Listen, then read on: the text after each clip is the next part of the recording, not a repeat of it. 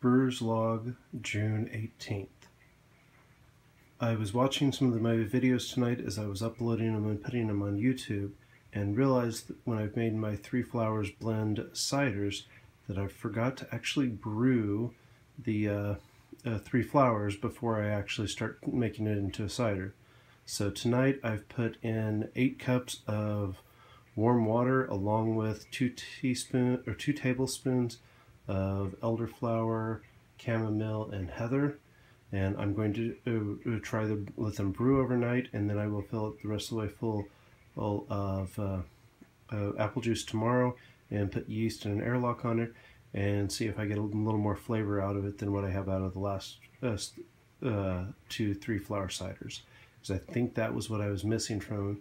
Is I just put the uh, flowers in without actually putting in, in to straight hot uh, water like I would do with the meat. So we'll see if this comes out any better and see if that's where I was messed up.